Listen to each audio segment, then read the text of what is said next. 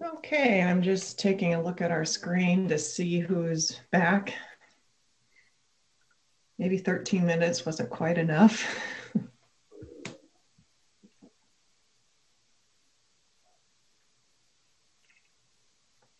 Good. I see people are chewing still.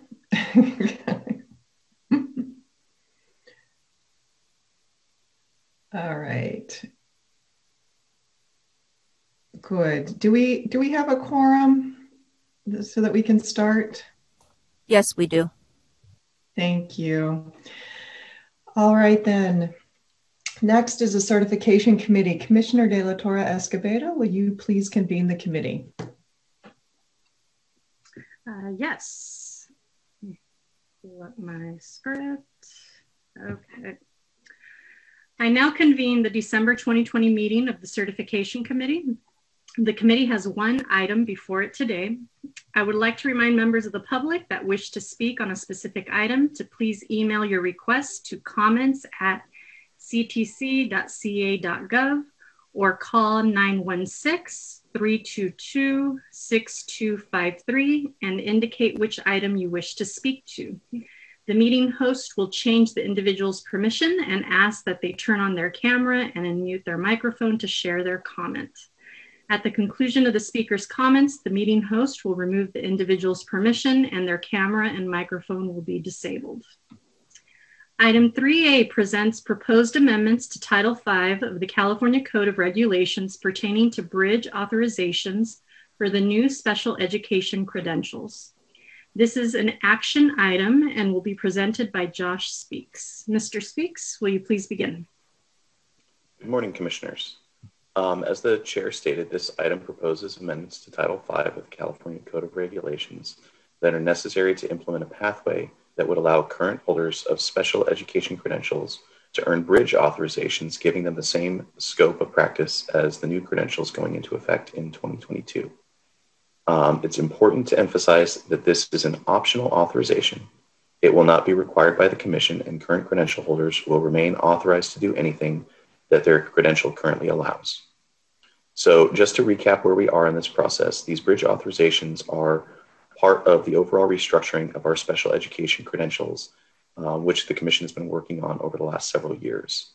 Historically, when we um, modify or expand a credential, the Commission also offers a way for existing credential holders to obtain the new authorization without having to complete an entirely new preparation program.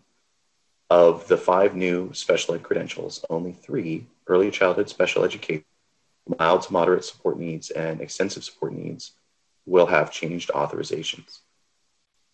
When this was discussed in October, I'm not sure that the item made it clear that we would be creating bridges for all three of the credentials um, because there were a couple of places where uh, it mentioned the mild, moderate, and the extensive without uh, mentioning the early childhood special education.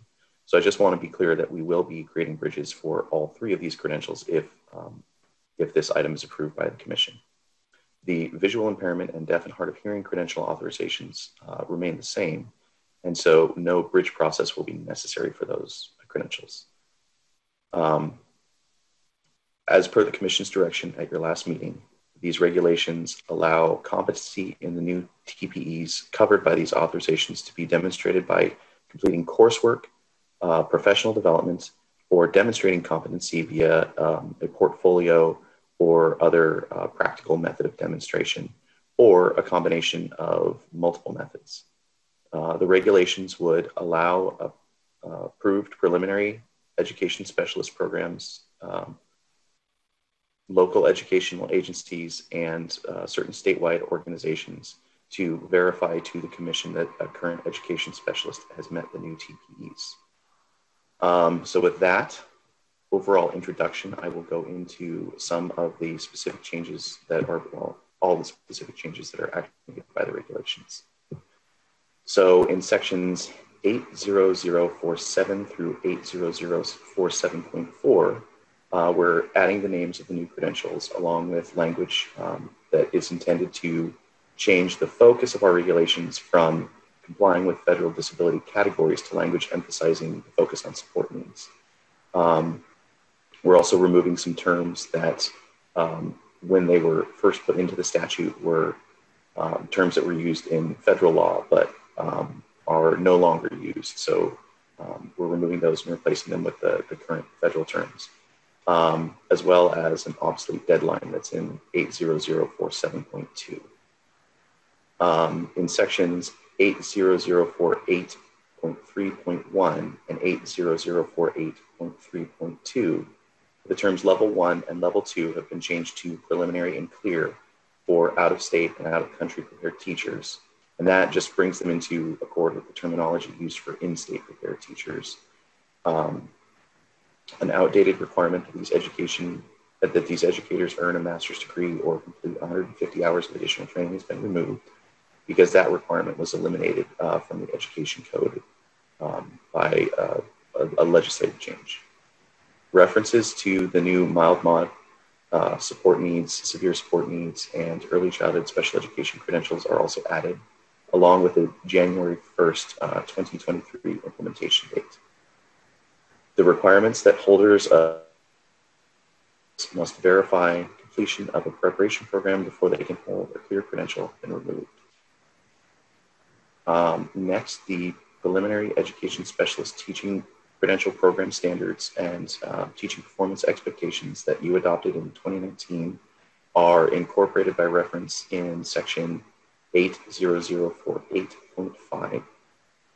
Um, in section 80048.6, the five new education specialist credentials, the bridge authorizations, and their authorization statements have been added. Um, and there are two minor changes in this section that are not reflected in the item in front of you. Um, they came to my attention um, with without enough lead time to get you an insert. So I wanted to um, bring them to your attention and explain. Um, first, the language that we will submit with your approval will say kindergarten, including transitional kindergarten, in the mild, moderate, and extensive support needs authorization statements. Um, the language in the agenda item doesn't include the phrase including transitional kindergarten. Now that's because it reflects the language the commission approved several months ago. Um, the intent of the language is always that these credentials would authorize teaching in a special education transitional kindergarten setting. Um, so this isn't a policy change. We didn't believe it was necessary to specify that because from the standpoint of the commission staff, TK is kindergarten. Um, however, we've been hearing from the field that it sometimes confuses administrators who are unsure whether or not they're able to assign those um, teachers to a special ed TK setting. So we wanted to add an explicit mention of transitional kindergarten in order to clear up any confusion. Also, the authorization statement for an early childhood special education added authorization that's been earned under the new TPEs says birth through pre-K. Um, but the early childhood special education and um, the bridge authorization authorized teaching up through kindergarten rather than pre-K. Um, this was just a typographical error on my part, and so uh, we will be changing this language to reflect that and showing that the added authorization also authorizes teaching through kindergarten, uh, consistent with the credential and bridge. Since these items are not part of the item itself, um, if the commission does approve of those changes, um, it will need to explicitly be stated in the motion. Um, so you would have to say something like, you know, approve this item as well as the addition of a reference to TK in the mild mod and extensive authorization statements and the change to kindergarten in the early childhood special education added authorizations. So I'm sorry that I accidentally made this more complicated than it had to be. Um, section 80048.7 has been updated to reference uh, current commission forms. It just had um, out of date forms listed there. Section 80048.8 has been updated to reflect a change in numbering in the education code.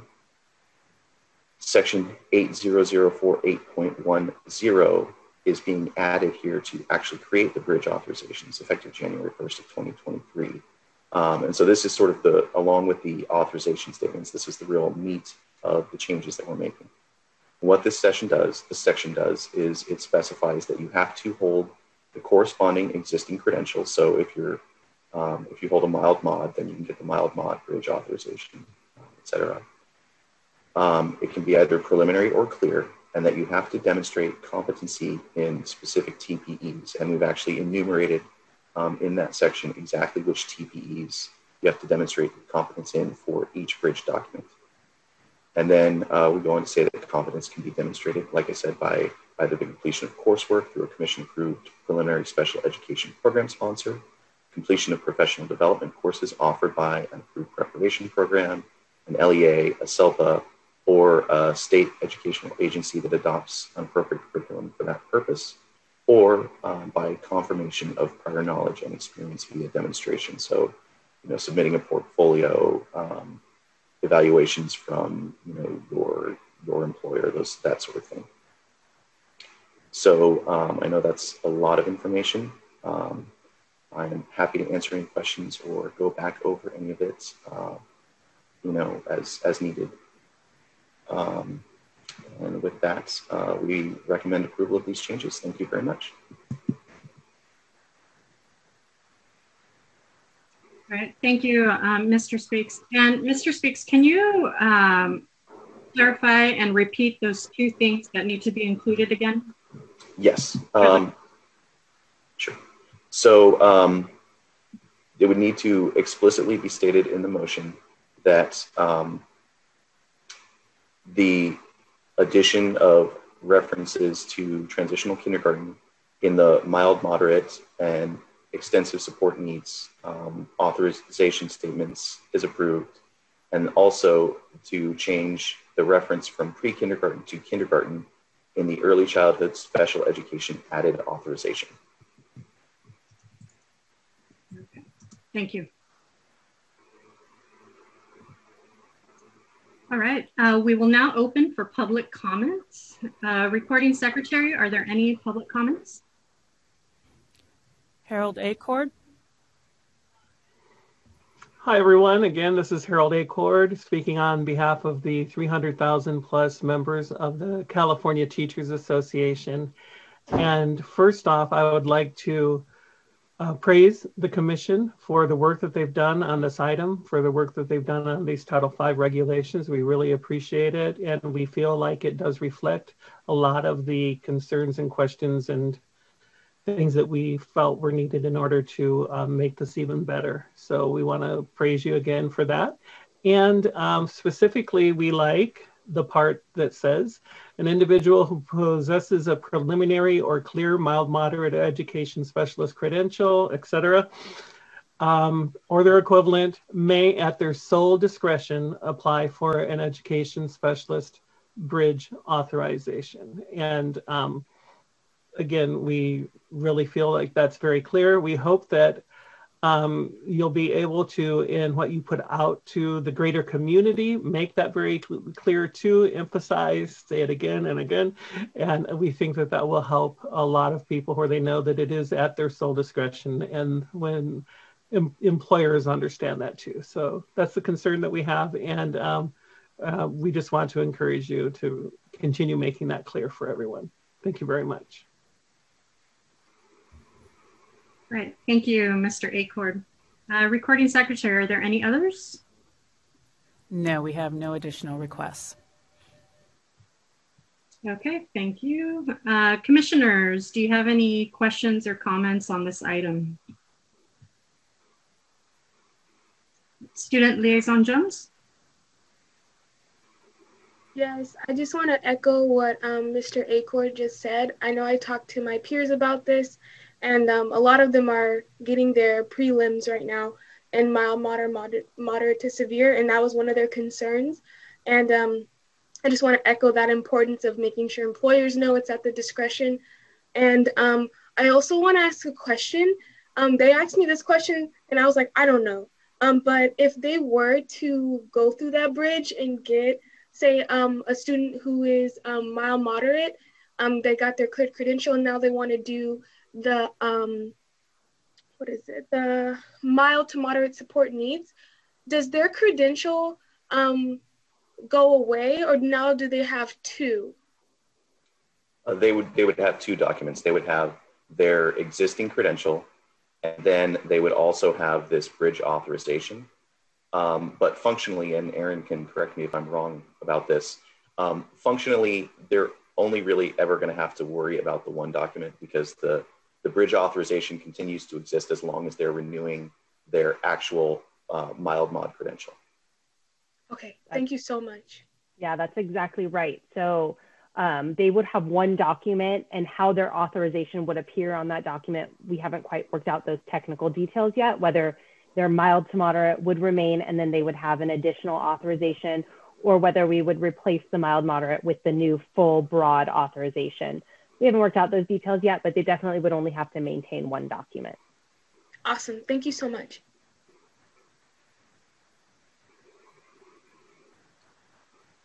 All right, commissioners, any other questions or comments?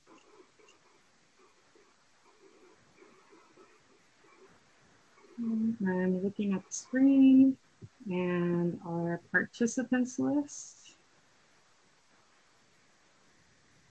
All right. Commissioners, this is an action item.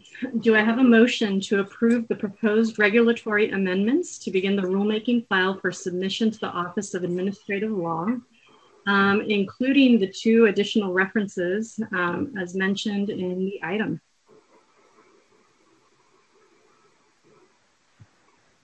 All right, I have a motion by Commissioner Chair Sloan. Do I have a second? All right, seconded by Commissioner Hines. Any further discussion?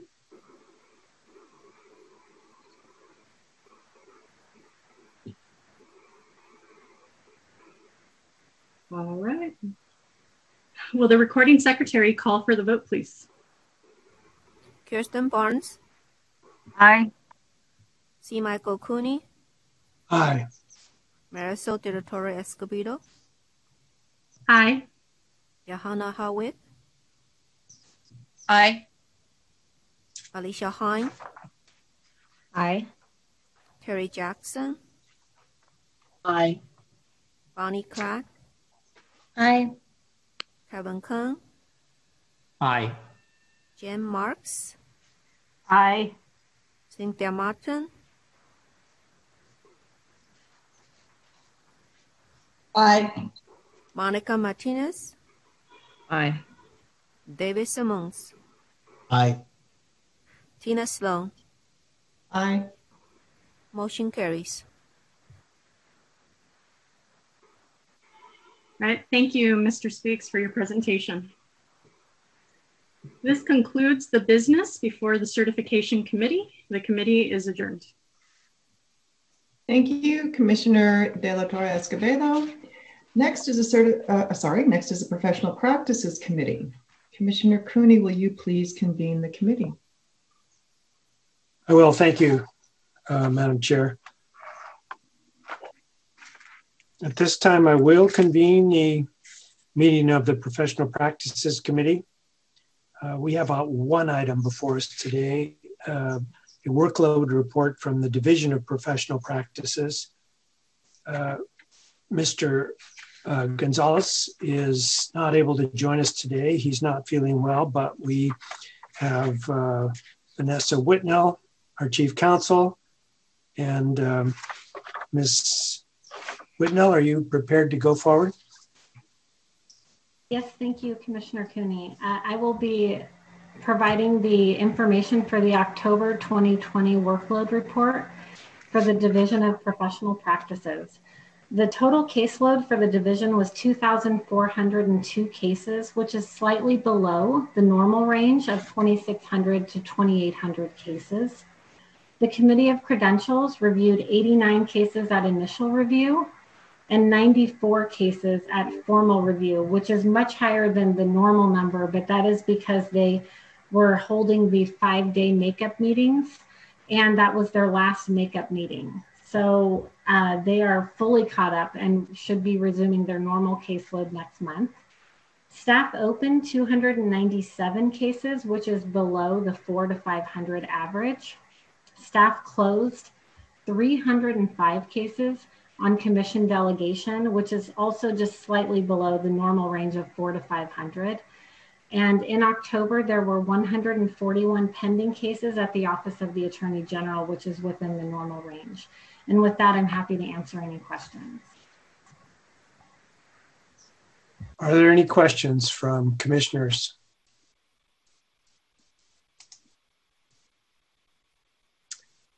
Uh, I have one.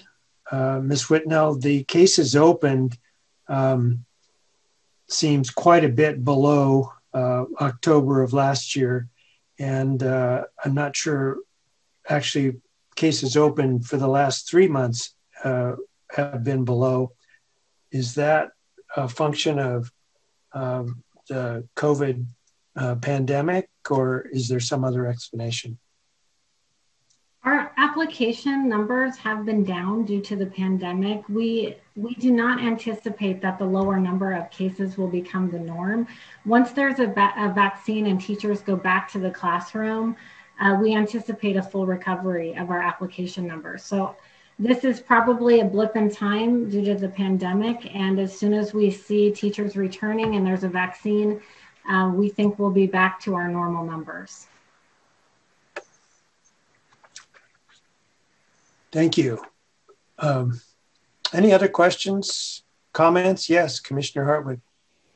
Michael, you took my um, question. That's what I was going to ask as well. And Ms. Whitnell has um, answered that. Ms. Whitnell, do you have any concerns about a, a surge in number of cases where you might rise above even what our average numbers are and that could create any kind of a staffing issue for you? we always have that concern. I, of course, there is a massive teacher shortage, and this has only been amplified by this pandemic. So, when we have a vaccine and teachers are returning to the classroom, it's possible that we could have a, a large spike in applications and then a large spike thereafter in the DPP with the misconduct. We have had that in the past. It ebbs and flows. I, I do know that we were at 105 cases in the committee at one point. So uh, it's possible, and Gil and I do our best between both the legal office and the Division of Professional Practices to ensure that our staff um, are fully trained to back each other up. So if that occurs, we're going to hold tight and get the numbers through. Thank you for that, and I hope that you will just keep us informed if you see that there are crunches that you can't meet. And again, I just want to repeat my um, sincere thanks to the very hard work that the DPP does and that your office does to keep this really important work on behalf of credential holders and uh, children moving forward. So thank you very much. Thank you. Thanks, Commissioner Hartwig. You uh, you stole my line. Um, it's really quite incredible that uh, the committee has been able to keep up with uh, all of the appearances by uh, adding an extra two days to some of their monthly meetings, I guess going back to April. And um, really, it, it has become a full time job. And that's the only way they could have kept up. So I hope if you have a chance to pass to Mr. Gonzalez and through him to the committee um, our appreciation of their extra efforts, you'll be able to do that, Ms. Whitnell. I will do that and for that matter, it really applies to uh, the entire uh, commission. Um, I know people, we keep seeing a shot of that empty room, and it makes me realize while the building may be largely empty, uh, work is going on on a daily basis. And um, I've talked with Mary several times, and and uh, and she assures me that uh, no uh, no task that needs to be done is is being left undone, and uh, it's terrific leadership. And, and due to that, that uh, the commission as a whole is able to function without missing a step. So uh, it should be said all the time. I often forget to say it, but I wanted to today. Okay, other commissioners, comments, questions? Good. Okay, then we can adjourn the meeting of the Professional Practices Committee and I'll return return the agenda to the chair. Thank you, Commissioner Cooney, and, and, thanks for the acknowledgement of the work that the Committee on Credentials is doing. Everybody is working harder at this point in time. Everything, it seems to be harder, and that committee was already working beyond, above and beyond. So I would again um, echo uh, our, our whole appreciation of the commission. Okay, next is the Legislative Committee. Uh, Commissioner Hind, will you please convene the committee? Absolutely. I now convene the December 2020 meeting of the Legislative Committee. The committee has one item before it today. I would like to remind members of the public that wish to speak on a specific item to please email your request to comments at ctc.ca.gov or call 916-322-6253 and indicate which item you wish to speak to so we can call your name during the appropriate time. Please make sure the request includes your full name, phone number, if participating through the phone only, your affiliation, and the agenda item number and title. make sure the name you provide matches the name used to join the meeting. At the appropriate time, the meeting host will change the individual's permissions and ask that they turn on their camera and unmute their microphone to share their comment. At the conclusion of the speaker's comments, the meeting host will remove their individual's permission and their camera and microphone will be disabled. Item 5A is the 2021 Legislative Outlook. This is an information item that will be presented by Sasha Horwitz. Mr. Horwitz, when you're ready, you may begin. Thank you. Good morning, commissioners. So while we may be at the end of 2020, um, we're already at the beginning of the new legislative session. Today, I'll provide an update on the outlook for the 21 legislative session, which officially begins on Monday, when the current class of senators and assembly members are sworn into office. The legislature will then recess and reconvene on January 4th to begin formal legislative activity. As always, I like to begin by orienting us to the current point in the legislative cycle before moving on to provide specifics on any bills. Following last month's election, the State Assembly will swear in all 80 members of the current class for new two year terms. And because the Senate has staggered terms, it will swear in 20 of the 40 senators to four year terms. They will have until February 19th to introduce the bills they wish to carry for 2021. Once introduced, the bills will be assigned to a policy committee, for example, the Education Committee, where they will be debated on the merits by committee members with input from stakeholders and members of the public. Bills that receive enough votes to pass out of their committees are then sent to the floor for a final vote of the full body, unless the bill has a significant fiscal impact. These bills first take a detour to the Appropriations Committee before they can move to the floor. Successful bills then cross over to the other house, that is, Assembly to Senate or vice versa, where they repeat this process. Any bill that passes both houses heads to the governor for his signature. And with few exceptions, signed bills will go into effect on January 1st, 2022. Bills that do not complete the legislative process in 2021 may have a second chance as a two year bill and continue the journey through the legislature in 2022. Any bill that does not pass in 2022 is considered dead and will have to be introduced again after the next statewide election. Moving on a parallel track, the governor will introduce his initial version of the 21-22 state budget by January 10th. This budget and its related trailer bills include both the administration's spending and policy priorities. The budget is sent to the legislature for debate by the budget committees. In May, after the state updates its fiscal projections for the year, the governor must submit a, a revised budget. This budget may be substantially different from the January version for any number of reasons, such as actions taken by the legislature in response to the administration's proposals, public opposition, changes to the state's fiscal landscape, or other urgent matters that arise. The May revision budget must be passed by both houses of the legislature by June 15. The governor then has until July 1st to sign the budget, which goes into effect immediately. As you'll recall, in 2020, the commission sponsored two bills the first was AB 2541, our pre accreditation clarification bill. This simple bill would have streamlined the definition of a regionally accredited institution of higher education. It also would have clarified that the Commission has the authority to establish regulations recognizing that a degree conferred by such an institution in the process of being accredited will be considered valid for credentialing purposes once the institution is successfully accredited. The regional accreditation process can take more than five years, and this closes a loophole that prevents students who graduate from a pre-accredited institution from being able to become teachers just because they happen to graduate before the institution and its program of study completes its regional accreditation process.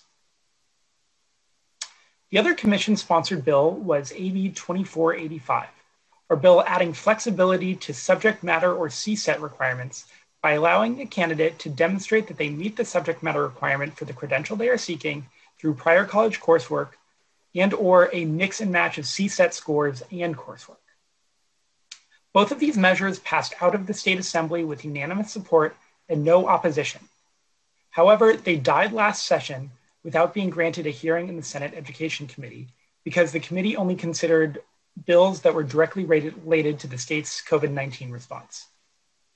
In both cases, I'm pleased to report that the authors, Assemblymember Medina for the pre-accreditation bill and Assemblymember Kalra for the subject matter bill, have agreed to reintroduce the bills in the 2021 session. Staff will provide updated bill numbers once the bills are in print early next year. There are two other bills that staff closely monitored in 2020 and expects to be reintroduced next year.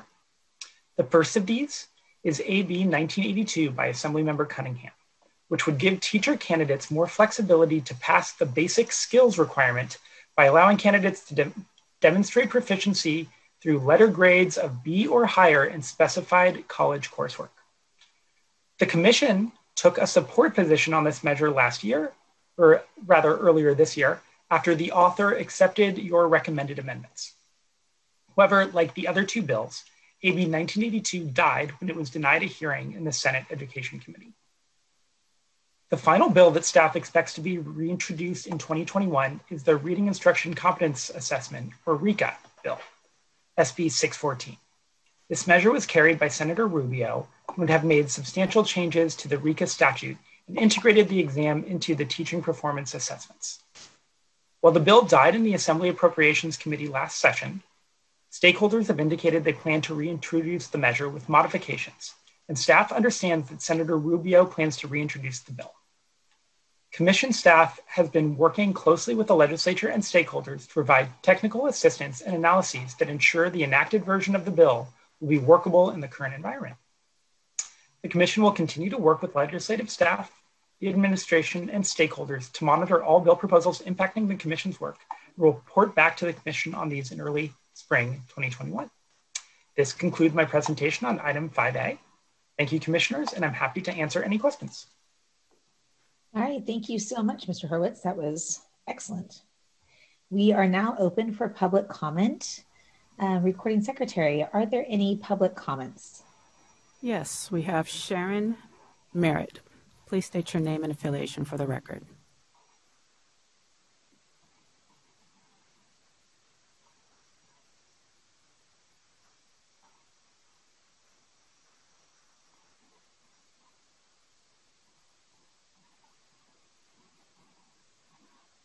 Sharon, are you there? Sharon, can you turn on your camera and uh, uh, unmute your mic, please?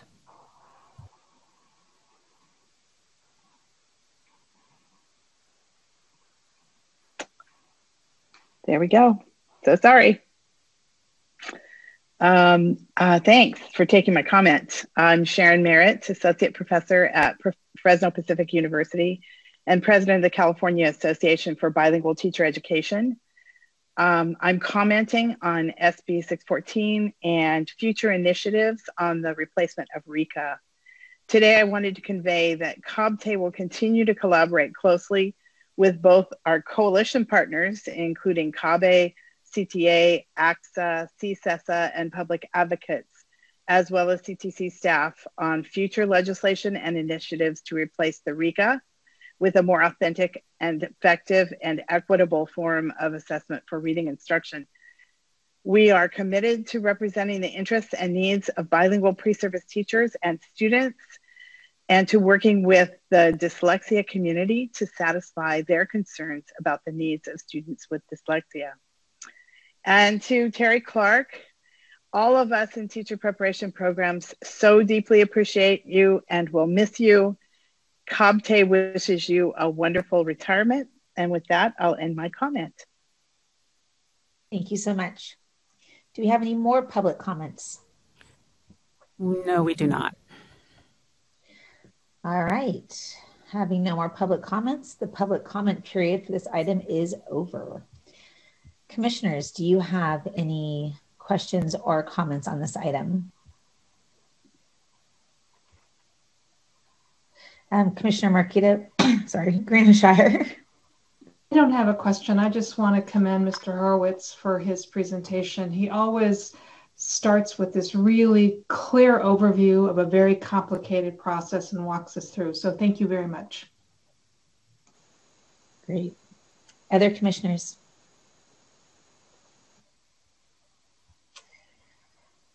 All right, seeing none. This is an information item, so no action is needed at this time. Thank you, Mr. Horowitz. And this concludes the business before the Legislative Committee. The committee is now adjourned. Okay. Thank you, Vice Chair Hind.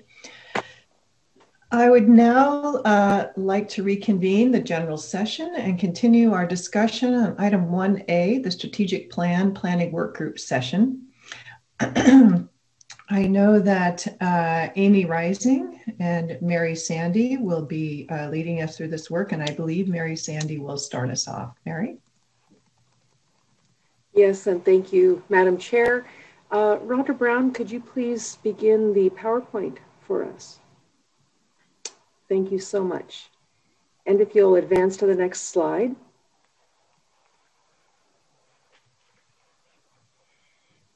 Next slide, please.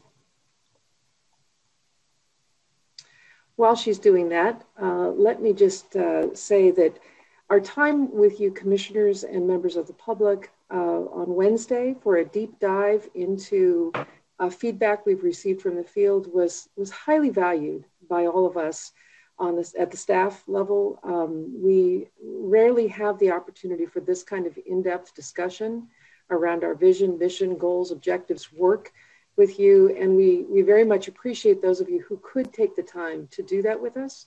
Um, and we're thrilled now, of course, to bring in those of you who were unable to be with us on, uh, on Wednesday. Um, I want to reiterate that the work we're doing around strategic planning is a process. Uh, and Wednesday was really intended to be a process where we uh, used a project based learning approach, if you will, to dig into how a group of stakeholders that responded to our survey are perceiving us, perceiving the work we do, perceiving, uh, you know, expressing their own needs around, uh, you know, what what our mission might be and how our mission might be enhanced or, or understood by them, what things we should begin doing, what things we might stop doing. It was it was uh, just a very good opportunity to look through this material and to really talk through what does it mean and what are the implications for our strategic plan we started with a goal, a set of goals for this, and really the intent was to increase commissioner familiarity with the strategic plan itself and with our statutory mandate. Um, there are many, many things we might like to do. There are some things we're charged to do uh, and funded and staffed to do. And part of our uh, work with you, commissioners, will be to sort uh, across the things we'd like to do and really identify the highest priority pieces of work that fall within the mandate that we have and to consider if, if it really appears to be necessary if there are any areas of mandate that we think we ought to have, which is a different conversation altogether. But goal one was really to use this material to grapple with and come to terms with what are the things we're doing and how is that received. Um, secondly, we really wanted to give you the opportunity to to work with it and to, to narrate it and to think about and begin to express some of your own ideas about uh, our mission, our vision, the values that have guided the work, the goal structure, and the, the kinds of activities that we've been engaged in, uh, so that, that you really could, could be in that narrative with us. Um, and then finally, the work that our, we plan to do and are, are going to do, take the next little bit of time to do, is to reflect on and weigh this feedback uh, that we've received against the current commission goals and begin to, uh, to ideate about what the next set of goals might be for the year 2021 and beyond. Um, so, so really that's what we were about on Wednesday. That's what we'd like to do some reflection on today uh, with you as we uh, bring this meeting to its, its close, probably I would guess within the next hour or so. Um, so with that, I would like to turn it back over to Amy Reising, who was our very able facilitator on uh, on Wednesday. You you got uh, to taste uh, and feel some of the, the ways in which our performance assessment uh, design teams are working, uh, because this is how Amy uh, does this work with them. It's a very um, deliberative process of engagement, breakout, come together, build ideas together. So thank you, Amy, for stepping in and, and helping to facilitate this work. And I'm going to turn it over to you now. Thank you, Mary. And good morning, good afternoon, commissioners. Uh, glad to be back with you today. So Rhonda, please go to the next slide. We want to just um, make sure that you are all familiar. We know some of you are joining us today, but these were the items and materials that we used on Wednesday throughout our discussions and throughout that session. And so just a quick reminder, you have your insert that provides the charts, the data charts and the written summaries uh, that were taken directly from the stakeholder feedback we received in the survey. And then you also have the link in the strategic planning working session insert, uh, the link that will take you directly to the raw data itself. So I invite you to find those documents um, and take a look at them as we move through time here together.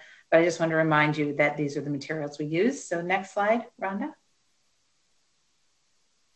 We just wanted to step back and remember uh, where our current direction uh, lies. And so our primary mission by EdCode is about issuing credentials and licensing California educators, accrediting educator preparation programs, including establishing standards uh, and teaching performance expectations, administrator performance expectations, early childhood expectations, et cetera, and to monitor and address educator misconduct.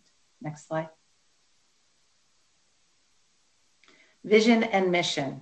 So our current vision and mission are as follows.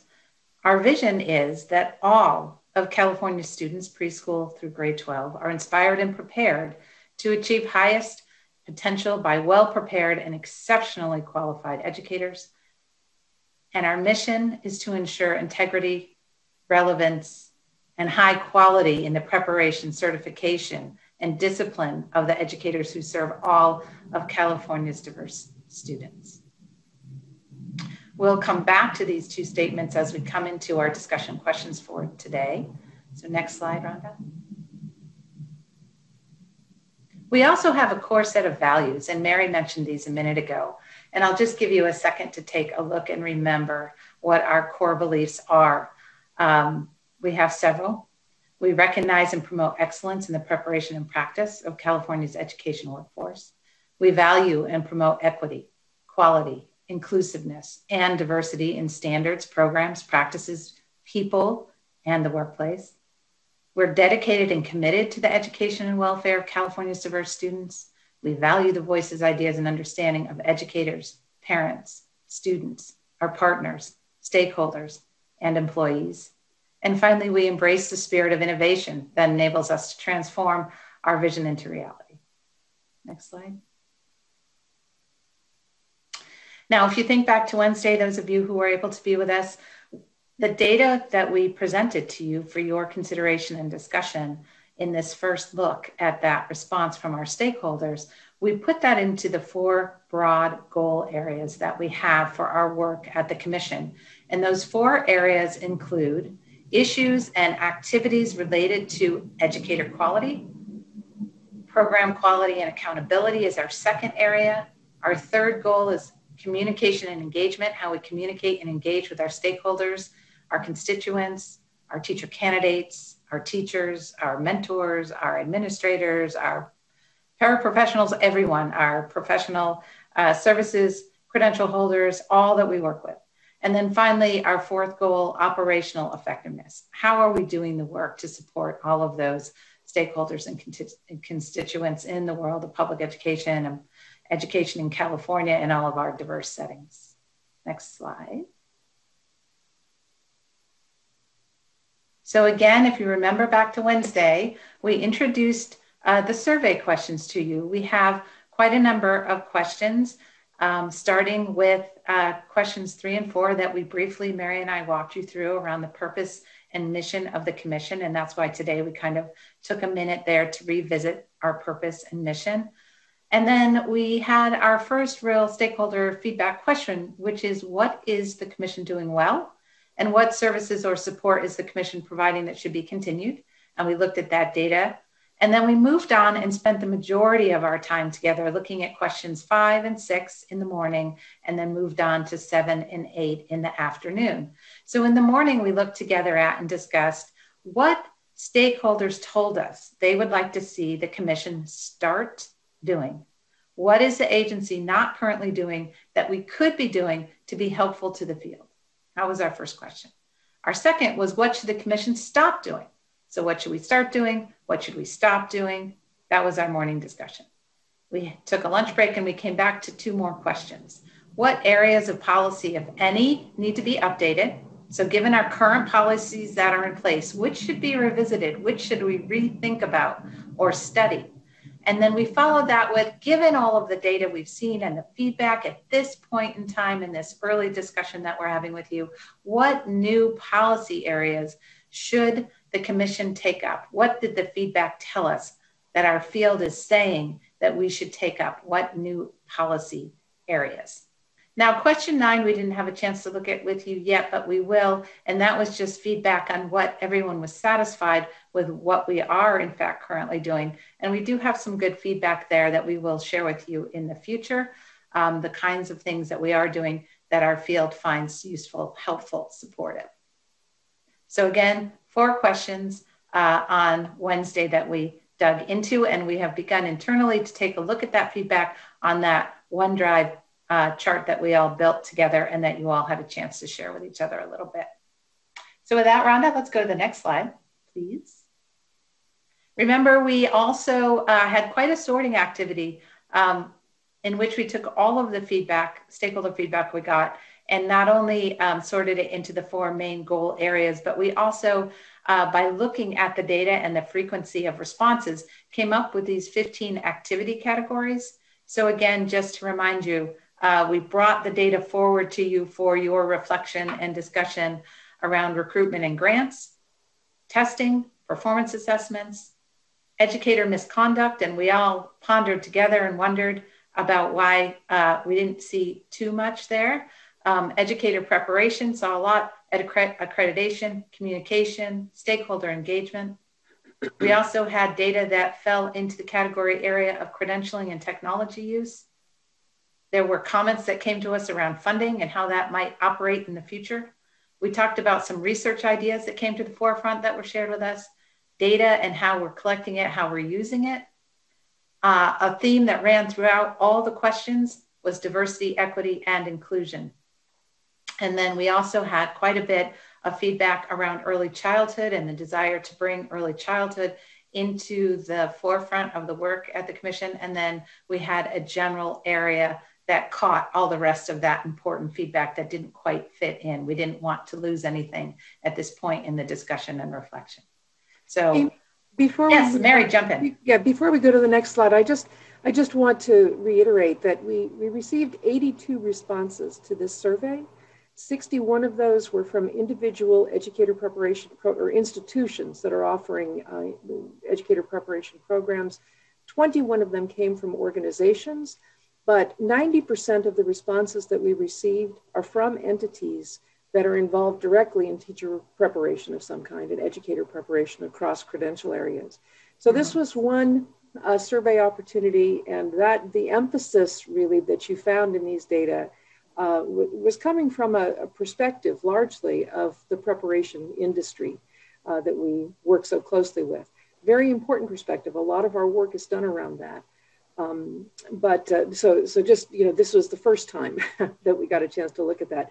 What we did in digging deep across these questions uh, helped us to see and understand what do they think we should start doing, stop doing, and involve ourselves in policy around. What we haven't had the opportunity to do yet is to look across uh, these categories and to really tease out. Um, there's a fair amount of repetition. If you take the topic of recruitment and grants, for instance, you'll find that uh, we got good responses that this is an area of work the commission is doing well. We got some responses around recruitment intention about work we should start doing. We got some feedback around things we should stop doing around recruitment. So the next level of analysis for us is to take a look at how these how these topics narrate across these topics of start, stop, update, or introduce new policy. And we'd like to take that, uh, the opportunity with those data and uh, with the, your initial kind of responses and engagement with that data to prepare um, the next agenda item that we have in front of you probably in February. So I just wanted to say that before we move on to the questions that we'd like to organize you, your conversation around next. Amy. Thank you, Mary. Thank you, thank you. All right, so next slide, please, Rhonda. So here is where we need all of you to re-engage with us. We have a few more questions we'd like you to pause and ponder and wonder about out loud with us and think about. Uh, so I'm going to go over them quickly and then we're going to move right into a discussion. So um, when we have this kind of data and as we begin to work to code it and reflect on it and think deeply about what we're receiving, um, we need to at some point move on to saying, okay, how will we prioritize these uh, findings? So the first two questions are about that. One question, of course, is what are the priority areas for our short term goals at the Commission? What is it that we need to get on right away? What do we need to address immediately in this next year? And uh, what, what, what, are, what is emerging uh, from this one source of feedback from multiple uh, organizations and many of our education preparation programs? What are the short term goals? That's followed, of course, by thinking about so, what are our longer term goals? Which of these um, aspects of the Commission's work might take more than one year to accomplish or must be looked at continuously over time? So, what are our long term goals? Then we'd like to know more about your thinking after you've had a chance to look a little bit at the data and maybe you thought about it over the last 24 hours or so but what uh, and how are you thinking that what we've been looking at from stakeholder feedback how might that impact our current vision mission and values. Is there anything missing uh, in our current set? Is there something that came forward in the data that we need to revisit our vision mission and values and add in? Is there something we should amplify? And then finally, very important question, we need to gather from you today what at this point in time you are thinking you would like deeper information about. What study sessions might we set up so that we can continue the discussion and further understand together implications for the work of the commission in the coming year. So with that, we're going to go ahead. Um, Rhonda, if uh, you can leave the questions up for a bit, but um, we want to go back to a whole group discussion. And um, talk with each other about these questions. Thanks. Amy, I believe we're going to turn it back to Chair Sloan, who Perfect. may want to invite public comment at this point. Yes, thank you, Mary. Um, recording Secretary, do we have any public comments? Yes, we do. The first would be Grace Harm. Please state your name and affiliation for the record.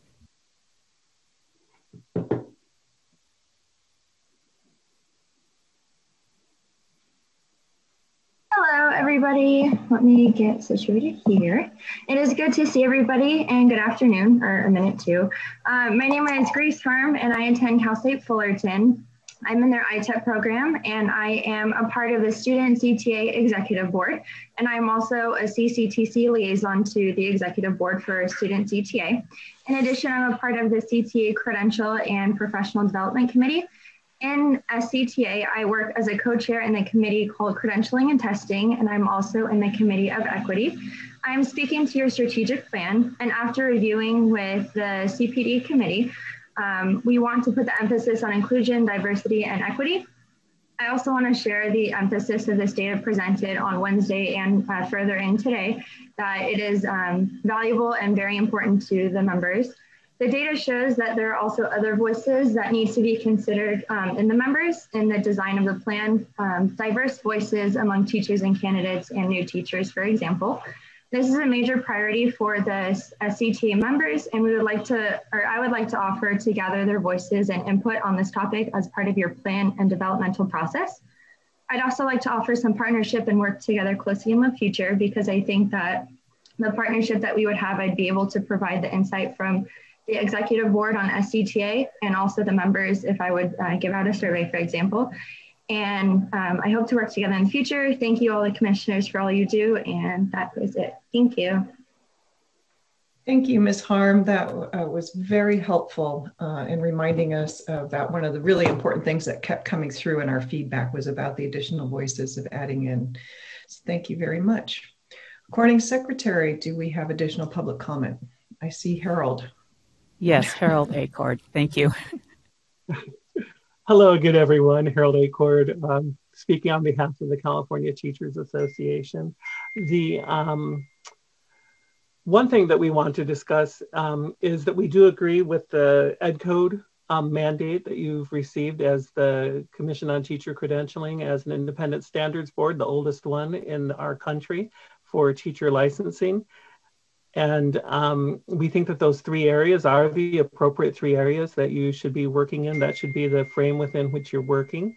And um, we also um, want to talk about the fact that we saw in the data that you shared with us overwhelmingly people want educators to be able, no matter where they're at in their career, whether they're teacher candidates, whether they are new teachers, whether they are experienced teachers, or someone like me who's in just a few years from retirement, that we need to understand diversity, we need to appreciate diversity, we need to confront the implicit biases that we all have, and we need to make sure that we don't use those biases you know in a way that's we shouldn't be using the biases we should be making sure that every student we're looking at is through a lens of um,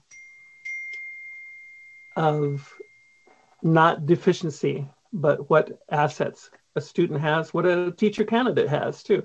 And so we think that's something that's really important. We're going to want to talk more about implicit biases in the future.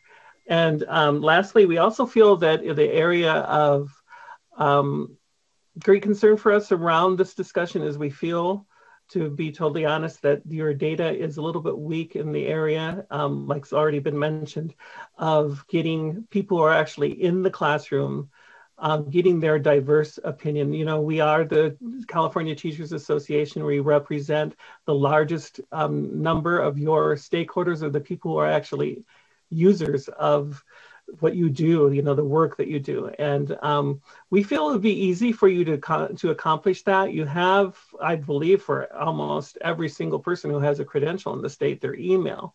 And you would be able to contact all of our members and other people who have credentials. And really, you know, we believe it's important that you solicit their voices, to hear the entire diverse voice, voices of the people who are credentialed in this very diverse state. And um, we want to be part of giving the voice to our 300,000 members, but the best way to hear their voice, we think, is directly from them. And we think you can do that. We think we've gotten into the point of technology and everything that we're able to do that and the information that you should already have that you should be able to solicit beliefs and information around the people who are actually doing the work in the classroom with students. So um, i believe i've covered all my um, things that i needed to say. And again i appreciate this opportunity to speak on behalf of our members. Thank you. Thank you mr acor. Those are excellent points. Recording secretary do we have additional comments we do not have any additional requests. Thank you. Okay, thank you. Uh, at this time, then, the public comment period uh, is closed, and um, I will turn it back over to Amy to organize um, the discussion with commissioners. Thank you, Tine. So, we're hoping to have an open discussion. We'd like to keep it informal in that way. So whoever is um, prepared to speak, let us know and um, we'll call on you. So Rhonda may have to let me know who's putting their hand up, um, but we would like to begin. Perhaps we should um, be clear on which point or question we're speaking to. Maybe we should start with any areas for prioritization, whether it's in the next year or uh, the longer term goal. You could just state that when you speak. I see Johanna Hartwig, Commissioner Hartwig. Thank you. Um, and I'm sure that Corey will have more to say from this, but I think in our discussion on Wednesday and at other other times, um, at other commission meetings, we've uh, understood the incredible importance of student voices, and we have a very talented and articulate student representative right now. Um, but I think a short-term goal could be um, increasing in the number of ways in which we gather input on a regular basis from students and incorporating and institutionalizing those, I guess I would say, so that there's um, a way that we are able to get uh, direct input from students as well as through representative methods like our, our student liaison who's on the board. Um, but that that could be something that could be really looked at across our different program areas. I mean, there's some areas in which uh, student input may not be as relevant, but of course, there's lots and lots of areas in which it could be. And um, I know that the Commission has made extraordinary leaps and bounds over the last number of years in the communication methods used and the data collected. And so I want to add my voice to trying to get as much um, student input as possible and making that a, a, a regular part of our um, communication systems. I know that it uh, that it has been done, but I'm uh, a voice for amplifying that, and I feel like that could be on the short-term goal um, list that we have. Thanks. Thank you. Who else would like to speak? I see Commissioner Simmons. It seems to me a few years ago, we changed the way that people renew their or uh, that people apply for their credentials so that it there was actually a survey that came up as part of it. And I know like the, the, the yes answers and all of that has been incorporated into part of the renewal process. Is there a way that we can make a link to a survey as, as teachers renew their credentials every five years? I wonder, Teri, are you are you online? Do you want to talk a little bit about the scope of our survey work? I am online, and the surveys that are there now take place when people are being recommended for a credential. I think Commissioner Simmons is talking about a new survey that would be for people who are doing their five year renewals. They're not necessarily have just finished a preparation program, but it would be a way to do a, a dipstick measure with current educators because somewhere under, but somewhere close to one fifth of the educators renew each year. There are still people that have lifetime documents, but majority of people now do have to renew. And that is definitely something technologically that could be developed if we knew what we wanted to survey them about. Great, thank you.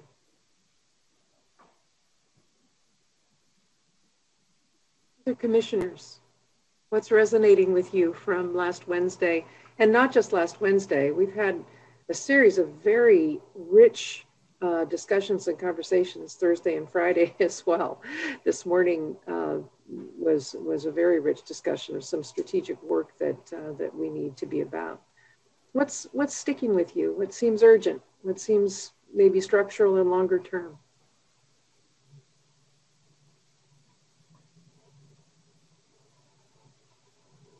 Yes, Commissioner Marks. Unmute, please. Yes. Thank you. So one word, assessments. I think the RICA and the assessments and the barriers, they sometimes they pose to people of color. And if that's our goal to bring in people of color, then I assessments is one place I think it's critical to look at. Mm-hmm. Mm-hmm. Janie, would you say that's a, an immediate short term, or would you say that's kind of over time? Well, if you're in a teacher prep program now, I would think it's immediate. Um, it depends how long this pandemic lasts. Um, it's long term as far as the legislative um, calendars look. Um, I think it's long term. Mm-hmm. Little of both. Mm-hmm. Mm-hmm. Mm-hmm. Ms. Jones, I saw your hand as well. Yes, and I also um, just want to echo. I know that I've said it already like a couple of times, but that student voice is super important. Um, and I know um, Miss Grace Harm, um, Mr. Acord, like they both echoed that same message, and it does lack a dimension because of that vo- because that voice isn't there. Um, however, I do feel like it's important that whatever values that we have as a CTC, that we see where we're remiss in a value. And what I saw was that DEI, diversity, equity, inclusion, is one of those values that may have not been represented as well um, as it could. And I think it's citing tangible ways so that in actions that we can represent that value. So I think that's a goal is finding out how can we represent that value within our EPP programs, within our website, within the commission um, and the commissioners. So I think it's just finding tangibles and being able to publicize that too, saying this is how we're reaching our values and give bullet points and, and make that very much known to our um, to everyone who who crosses paths with the CTC. Thank you so much for that. Commissioner Barnes. Yes. Uh, sorry, I don't know what's going on with my camera, but um, can you hear me at least? Yes. Okay. And we can see you. Okay, good. Um, so things that have been on my mind, and obviously Wednesday was a good conversation. Um, obviously the DE, DEI. Um, one thing that kept uh, we saw a theme throughout was um, the mental health of people in the profession, um, mental health of teachers, but I would say all people in the profession. And um, one was one was about addressing it in programs, but another then also said studying it. And I also think that goes for obviously our our, our candidates, our, our students in their programs.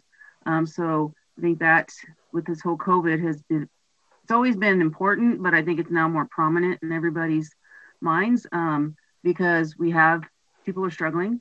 Um, you know, Mm-hmm. teachers are struggling, administrators are struggling. Um, you know, I, I, it's there's just a big weight on everybody, and so I think I think immediate is reassessing some of those things. So this is to me is short term and long term.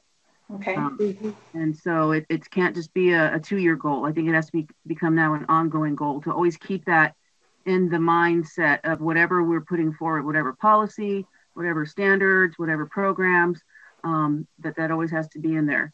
And then, um, you know, the whole the whole discussion of getting more teachers of color, very important. Um, I brought up in my mini group that I think it would be valuable to reach out to high school students and ask them, what, why aren't you going into the profession? I mean, the students who are in the programs now in college, they chose it. And so we need to, you know, keep them. But why are high school students choosing not to go into it? You know, I've asked a few of my students, but, you know, just a snippet here and there. Um, they're going to give us the answer. How do we change?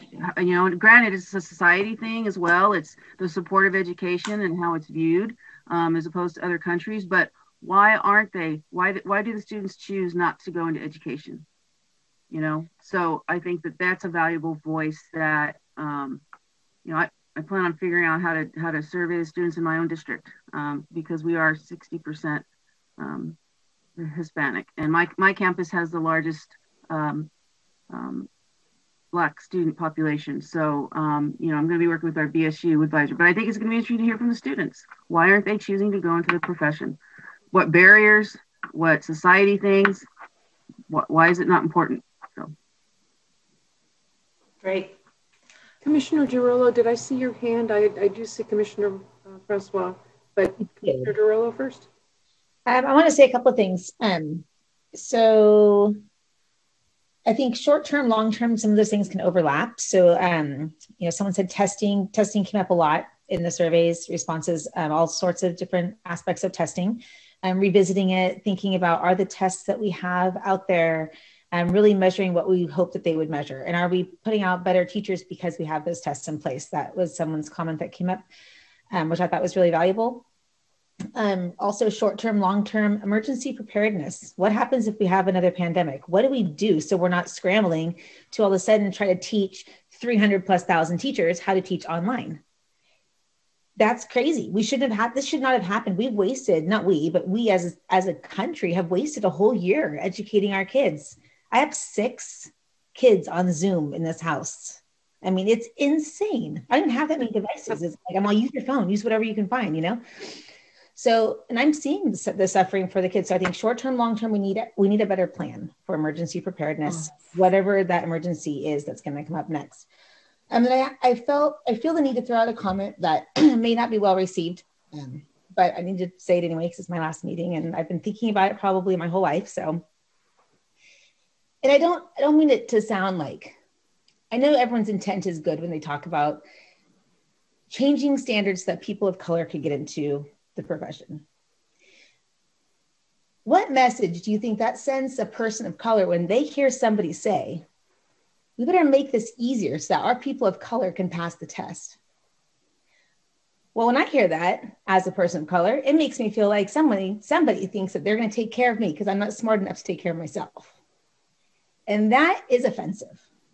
And I think that if we if we listen to the way that we say things, even when our intention is good. And even though we're trying, what we're trying to say is we want everyone to have access to the same resources, whether it's access to education, access to a family unit that will sit down and read to them at night, whatever that access is, we want equity and, and access to resources.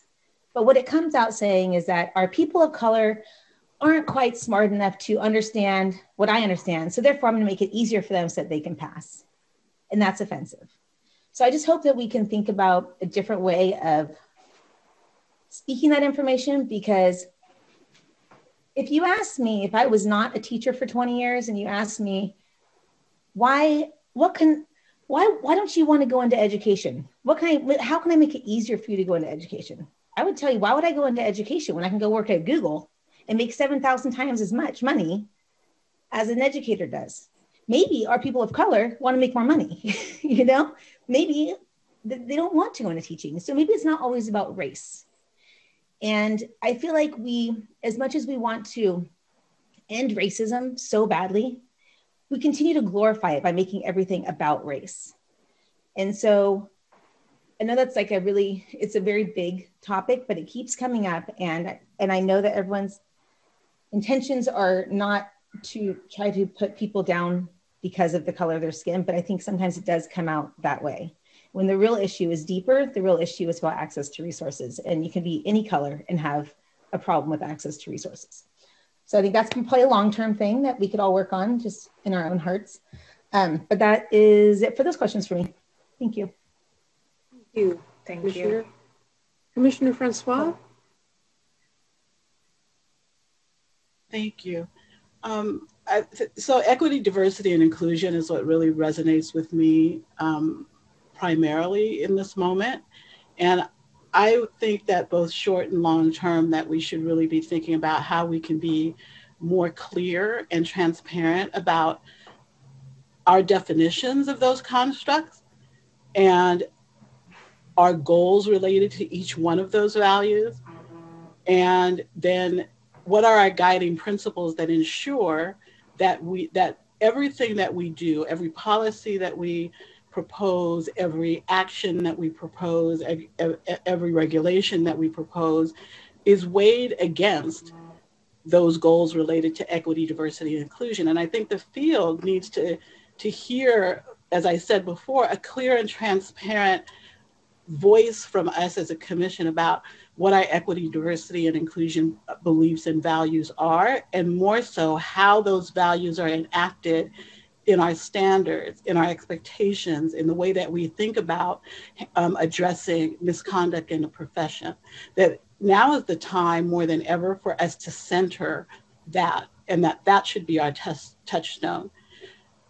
Um, there's so much of what Commissioner Hines said that I agree with.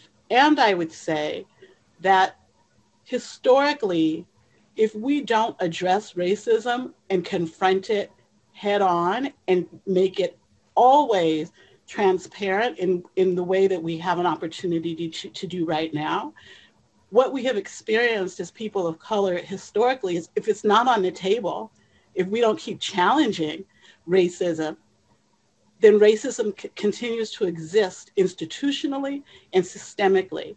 And as an agency with such a tremendous responsibility for preparing and supporting educators, it is our responsibility, I believe, to ensure that we don't take racism off the table, that we acknowledge that educator preparation, whether it's teacher preparation, um, social worker, uh, school site social worker preparation, leadership preparation, Mm-hmm. Our profession is political in nature, and we can pretend that it's not, but it is. And in this moment in particular, the politics of racism needs to be challenged. And as an organization with the responsibility that we have, it would behoove us, it, I believe it is our responsibility to make sure that we're always going back to that. Um, and I also wanted to pick up on this notion of of, of testing and what the data is saying about um, who's passing, who's not passing, who's having to, to retake um, the EdTPA, the RICA, et cetera. And the data is very clear that primarily Black people, Black teachers, Black aspiring teachers are, are in each of those assessments, from what I remember from the last day that was presented, are not passing as higher as at high rates as, as others. We need to interrogate and explore that. We can't ignore it. And as a Black woman, I will say when I look at that, I do have the same kind of tension that Dr. Hine, uh, Dr. Hine, I'm sorry, that Commissioner Hines had, is that I don't want folks to interpret that data and say, you need to modify the test or dumb down the test so that I can pass it. Because I don't think that's the problem. I don't think that's the root cause. And also, as a, a, a person of color, what I also don't want to happen is for to, to ever have to go into a situation where it's the beginning of a profession, whatever situation, I want to know that I earned my right to be there, that somebody just didn't open a door and say, and push me through, and that I didn't earn it. Because what that does to to, to my identity and my psyche is I will always have imposter syndrome and I'll always question whether or not I earn that seat at the table. So I think it's a really interesting tension that I think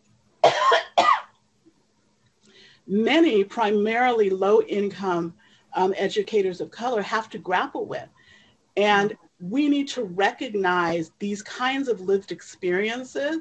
We need to take opportunities to explore them and interrogate them together and bring those students who, who represent that particular perspective to the table to voice into the kinds of policies and procedures that, that we enact. So I guess what I'm trying to say, that was a long way of saying that equity, diversity, and inclusion matters student voice absolutely matters. And I believe that there are other ways that we can ensure high quality that does not necessarily come from the results of a test score. Can I just respond real quick? I know I'm out of, out of turn, but I just want to respond. I just want to clarify. I absolutely agree with you that race should be challenged. Racial racism should be challenged all the time. But I what, I my point is that I don't think that is good if we plug in race as the easy way so we don't have to dig deeper and investigate. If the test is the problem, the test is the problem. If Black people are not passing the test, it's not because Black people are stupid, it's because the test is poorly written. You can plug in any race, and if someone's not passing something, it's because the test is, is bad. So if the test is what the problem is, let's change the test. But to say, like, let's get rid of all of our tests because our Black and Brown students aren't passing them, that's not the answer. Let's fix the test so that it's actually showing what we are looking for it to show. I absolutely agree with you. We need to challenge racism because it exists. It's real. I was saying we're not we don't need to glorify it by always making every issue a race issue when it doesn't need to be a race issue because then that that almost takes away the importance of challenging it when it really is a race issue. So I hope I just want to clarify that, that I mm-hmm. totally agree with you 100%. I'm oh just, no, I didn't think that you disagreed with me. I did, I didn't. I was expanding upon what you said and what Corey said earlier, and you know, I would just say, in addition, that yes, it's the test, but it's all, and it's also. It reminds me of the conversation earlier around collaboration across the educational enterprise because you also can't ignore who's graduating from universities that then can go into teacher preparation. And so we have a a K-16 interprofessional programs access and equity problem that can only be solved through statewide eff- efforts across these different agencies. But I mm-hmm. was not disagreeing with you. I was building on what Right, you said. okay, so I'm gonna clarify, thanks. Yes, Ms. Jones.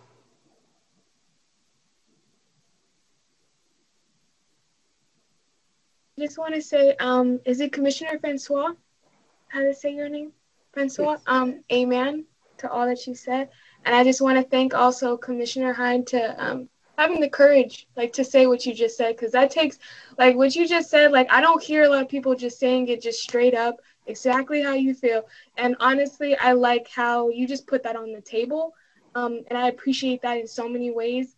Um, I feel I feel like um, just kind of building off of um, Commissioner Francois and what she said. I think when you look at um, a DEI, and you know how a lot of times we say DEI lens, figuring out what that lens means for the commission. So, what is the process you're going to do to apply to certain areas? So, is it going to be like a set of questions you ask yourselves um, when you're looking at an issue?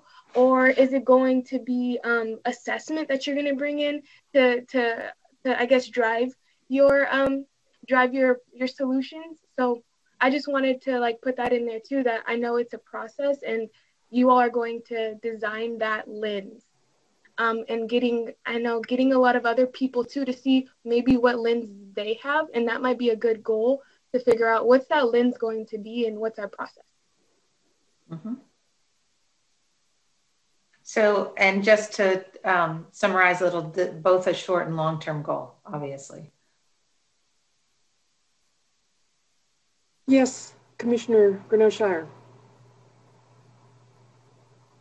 So I've been listening really carefully and reflecting on the really rich conversations we had on Wednesday and this conversation this morning. And I, I appreciate our collective courage to have this conversation as commissioners. And I, I, want us to take the time to think clearly and carefully what a diversity, equity, and inclusion lens mean for all of the work of the Commission. Um, Commissioner Francois talked about our goals, our policies, our practices, um, our work with our um, our providers, because as many of you know, there has been lots of conversation among at least the higher ed providers about the need for the commission to be really, really clear about their commitment to work related to diversity, equity, and inclusion. So I think this is exactly the right conversation.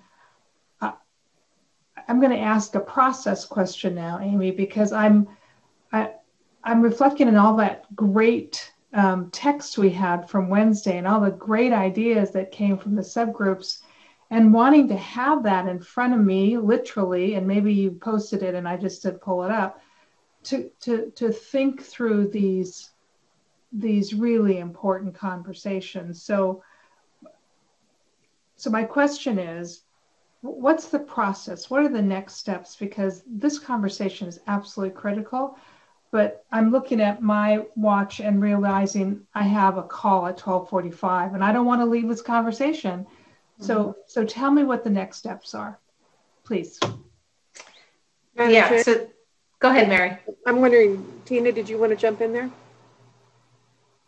Yes.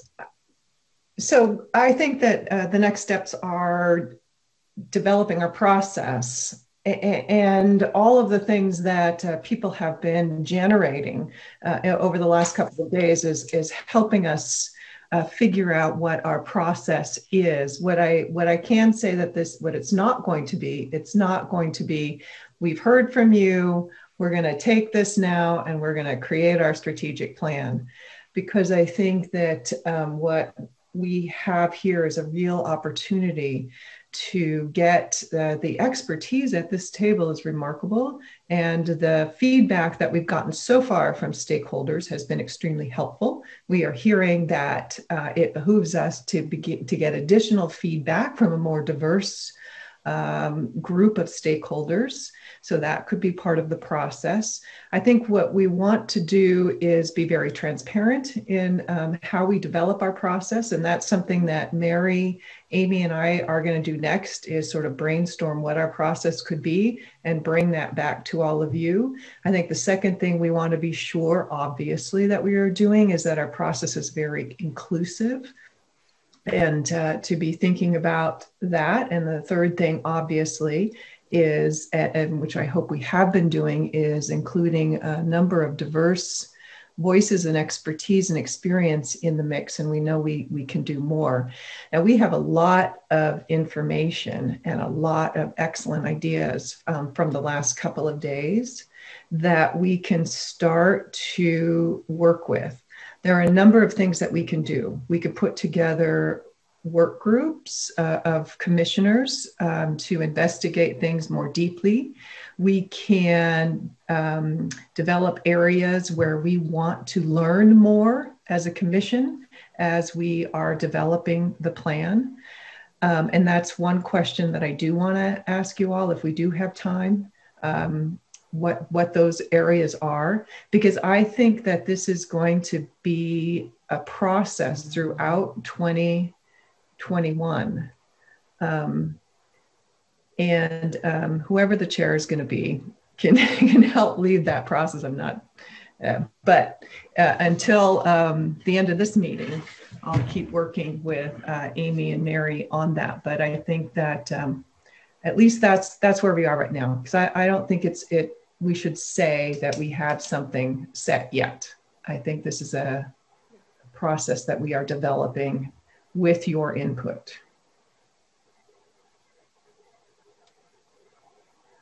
So where that I think uh, leaves us is I, I think we, we, in the interest of time, we probably need to uh, either take a long lunch break and plan the afternoon around this, or alternatively, bring this to a conclusion. And if there are some last thoughts or some particular suggestions, I we're we're hearing very clearly uh, and we saw this in the data, and we know this because of, you know, we're alive and at least partially awake in this world, that diversity, equity, and inclusion are utterly critical in front of this commission. And we promised earlier this year, Tine and I did uh, in a letter to the field that uh, we are uh, committed to looking at the systems that we're involved with here at, this, at the commission to see uh, where we are enabling justice, equity, diversity, um, and where we may be constraining it.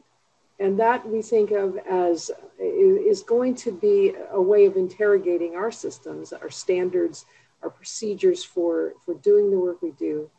Um, to, and, and I think doing some of what you've urged us to do, which include, I, I really appreciated your frame on this, Commissioner Francois, around clarifying our definitions of these constructs and the values that we hold around them and how we are enacting our work around them. And I, I for one, believe we should have a, a deeper conversation about that. You know, let's get concrete and, and less blue sky.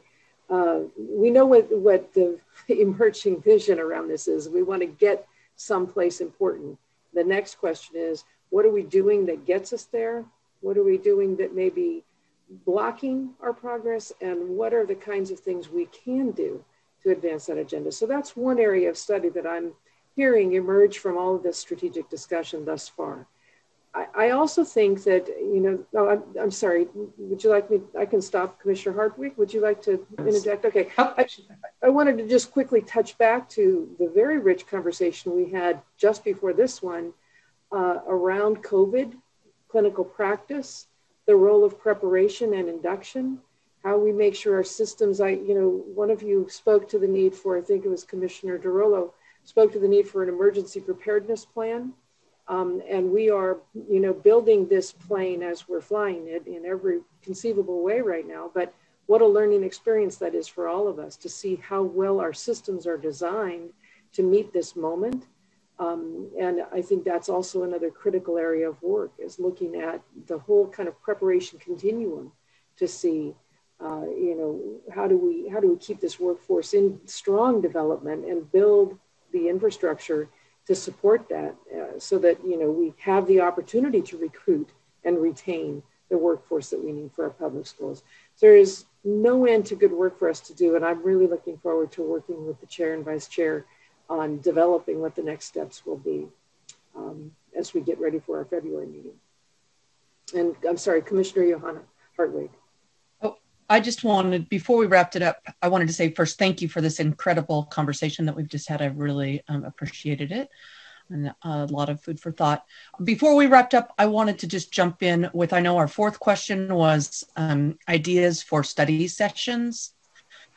Uh, and so I wanted to jump in with a, a request for a study session focused on um, testing regimens and um, assessment as someone who is by profession not steeped in this, you know, in this world. Um, I think I would really benefit from a study session that would help me understand um, our, our testing and assessment current status and options and um, liabilities and benefits uh, from those, that would be uh, very helpful for me.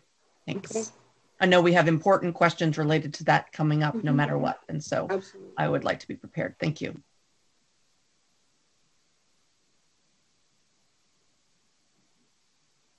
Well, seeing no other hands, we thank you for your uh, for your work with us on all of this. And we're grateful to be able to work with all of you uh, on, on this important time of framing next steps. So, Madam Chair, back to you. Thank you so much, Amy and Mary, again, for everything that you have been doing around this. And Amy, especially, you were working, you and your staff yesterday on sifting through the data once again and, and organizing things for us. Appreciate it. Okay, this was an information item and no action is needed. So with that, we will move to item 1I. Agenda item 1I is report of the closed session items. Commissioner Hind, would you please? Yeah, give me one second to pull it up.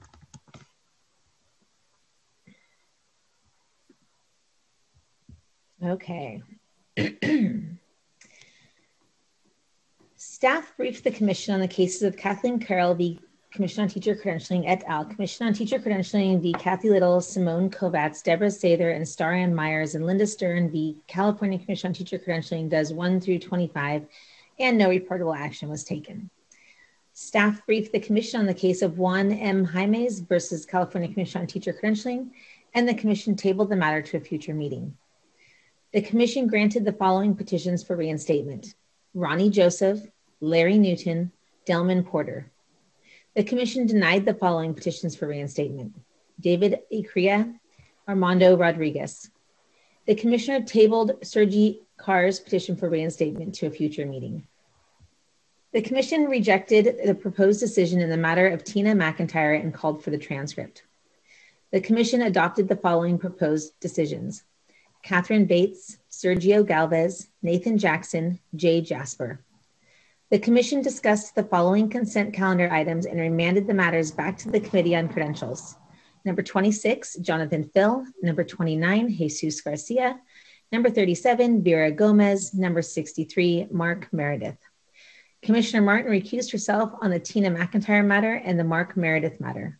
Commissioner Jackson recused herself on the Nathan Jackson matter. And that concludes my report. Thank you, Commissioner Hind. Uh, item 1J is new business. The bi-monthly agenda is presented for information. Recording Secretary, are there any audience presentations? No, there are no audience presentations. Thank you.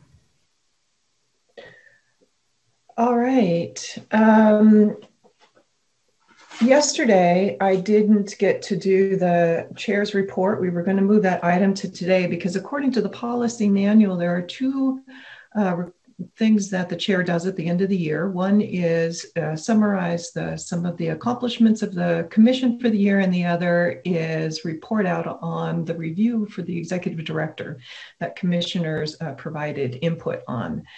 And I know it has been a, a, very long meeting for all of you. So um, many of you commissioners have received information on what um, the accomplishments were this year. And uh, so I'm not going to go into them in detail, but I do want to emphasize that there were 32 specific um, goals and priorities that uh, Commissioner or Executive Director Mary Sandy set at the beginning of the year. And uh, of those, a tremendous amount of accomplishments have been um, completed, I should say. Um, some of the milestones were things like the um, completion and launch of CalSAS, which was the um, automation of the annual assignment monitoring. That was a very big thing. Uh, the accreditation dashboards, um, the completion of the TPA comparable uh, comparability study. That was also a very big thing and then the expansion of the CTC online system to um, allow direct electronic recommendations for CTE credentials, GLATs, CLAPs, and uh, a number of other things. There's more to go there too. And then there was a lot of new priority areas in 2021 that uh, we made uh, progress on, such as adoption of the TPEs and subject matter requirements for the theater and dance credentials. That was another big accomplishment. And then we began the development of the new TPA for special education. Um, we met um, with the sponsors of the Master Plan Committee to discuss the Commission's work in early childhood education. We continue to make progress in, in that front. And I would say that um, probably the other really important thing that didn't stop in this time of COVID was convening the design team to update the California standards for the teaching profession uh, and the subject matter requirements for the bilingual authorization program. All incredibly important things. There were a few areas of work that were delayed due to COVID 19, but I want to emphasize that the delays were really external to our work. The delays were not commission staff uh, were too overwhelmed or too busy or had to work from home and these things couldn't get done. Those include things like the passage of the legislation that uh, Sasha Horowitz talked to us about today. Uh, they include things like the establishment of the work group to review the RICA. They include things like the standard setting study on the Cal APA, which we had to postpone given the settings that changed so dramatically in terms of when the APA could be done the expansion of grant programs for residencies and classified staff in computer science, again, uh, beyond our control. Um, so I just want to say that the commission, the staff, those of us sitting here, the executive director, have done an amazing job during this time of COVID. I think all of you know that. We talked about how much harder the work has been this year. And on top of accomplishing the goals that they set out to accomplish earlier in the year before any of this crisis hit, they did none of the things on the list that I just mentioned involve the thousands and thousands of hours and thought that went into figuring out how we are going to work with our entire stakeholder community to ensure that California students and families have excellent teachers and administrators and counselors and nurses in the classrooms in 2021. And that's what they've done. So I want to commend all of you sitting here, and I want to commend the staff and Executive Director Sandy on t- tremendous job well done. And I've seen Corey giving her snaps Thank you.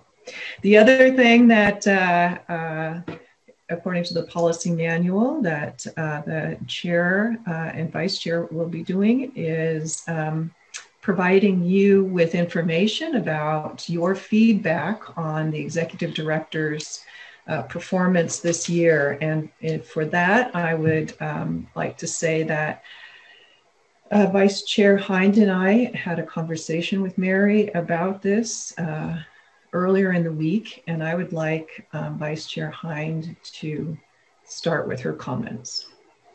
Hey, thank you. Um, so this is, I don't know how many surveys uh, I've been able to look at of Mary's. Um, hiring Mary was one of the first charges that um, came before the commission when I was uh, first on the commission.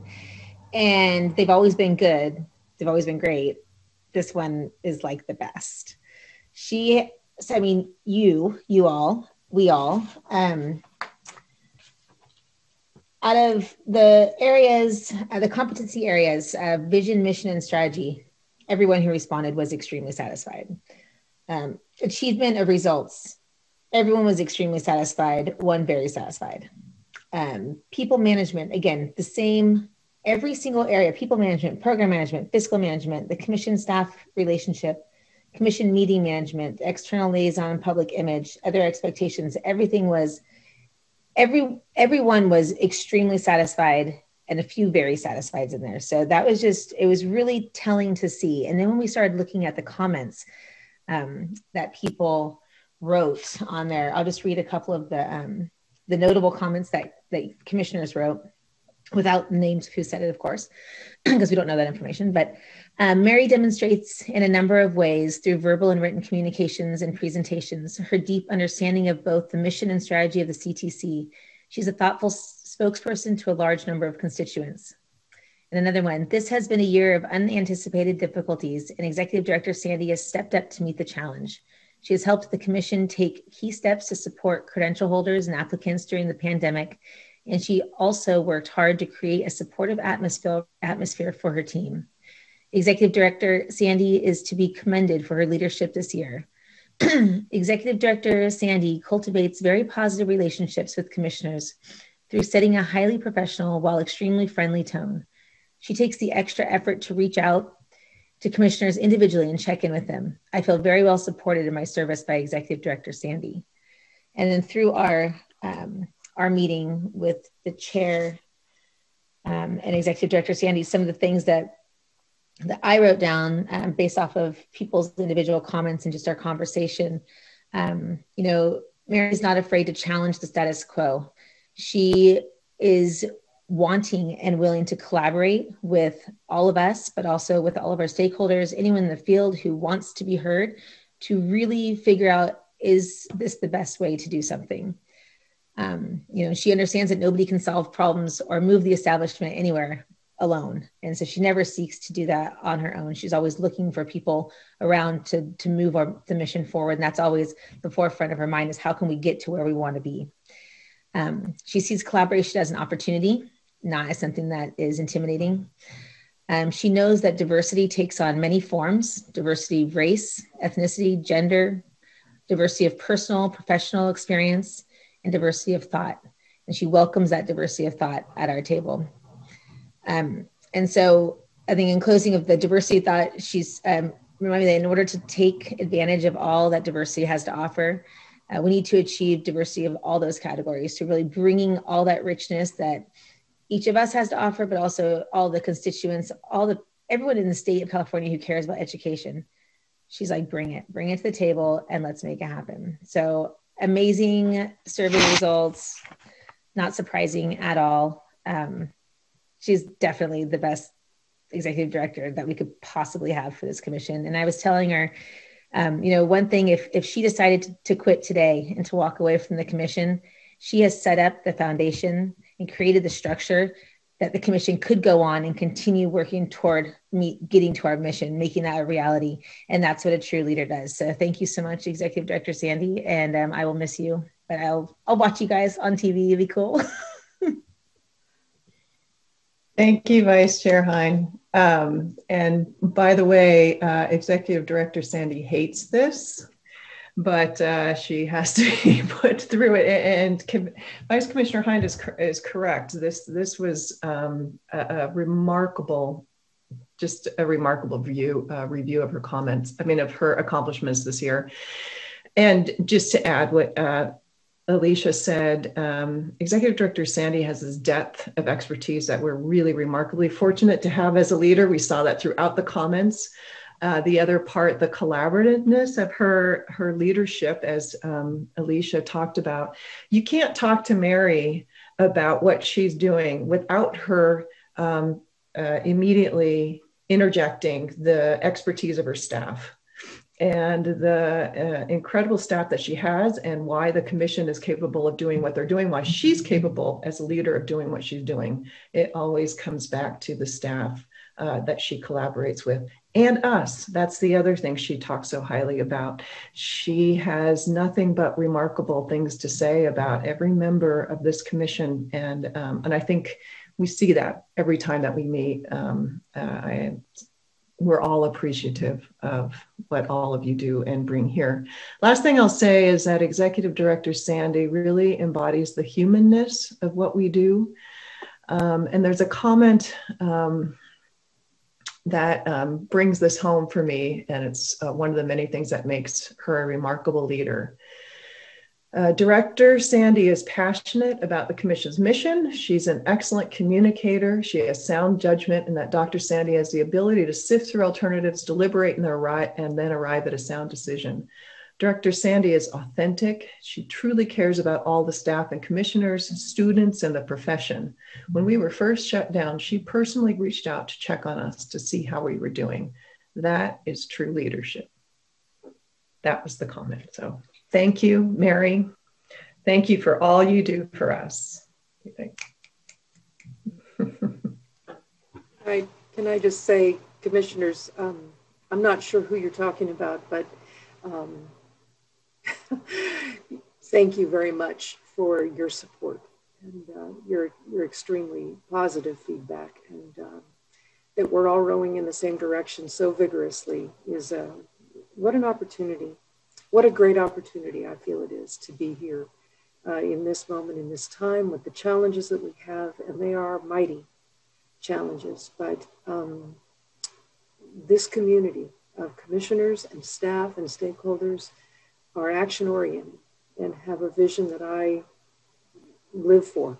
And so, thank you for allowing me to be here and to serve in this role with all of you. And um, uh, let's minimize, you know, shorter, shorter sentences next time. thank you. Thank you so much, Madam Chair. All right, thank you. With that, we will move to item 1K. Item 1K is nominations and elections of the chair and vice chair of the Commission on Teacher Credentialing for 2021. I'm going to turn it back over to you, Mary. Thank you, Madam Chair. Section 301 of the Commission's policy manual allows for nominations for the chair and vice chair to be made orally in open session at the last meeting of the calendar year of the Commission.